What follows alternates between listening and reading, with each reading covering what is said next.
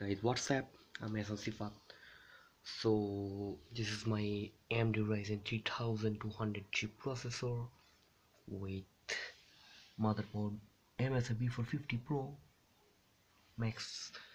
So one of the most common problem I have faced in last one week that okay so so problem is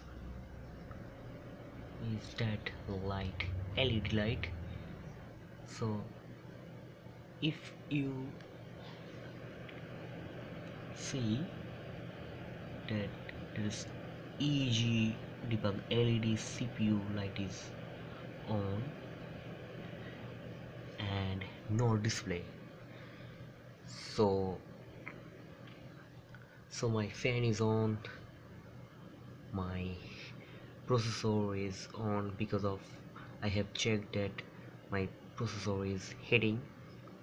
That my processor is okay.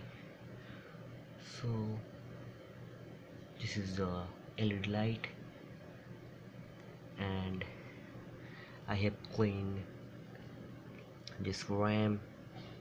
I have reset CMOS battery. And I have cleaned everything but